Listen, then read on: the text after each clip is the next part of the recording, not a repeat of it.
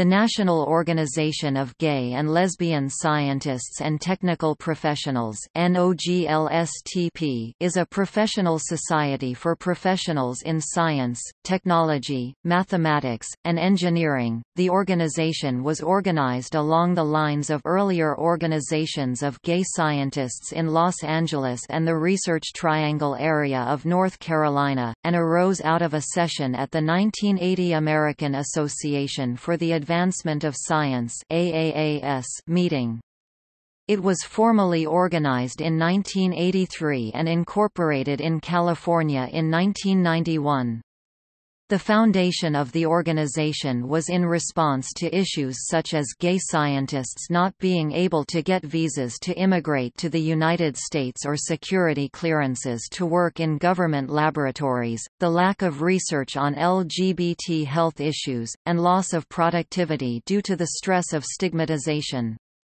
Much of the organization's early work related to increasing the visibility of LGBT scientists and opposing homophobia. In the 1990s, it focused on encouraging corporations to adopt non-discrimination policies and assisted in a 1995 Government Accounting Office report that recommended that LGBT status should not be considered a vulnerability to blackmail in security clearance investigations. In the 2000s and 2010s, awards for LGBT scientists, engineers, and STEM educators were established.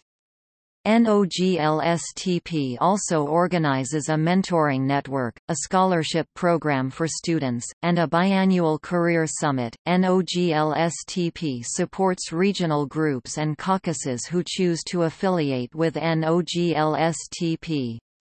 NOGLSTP affiliates and partners with other national STEM organizations, including AAAS.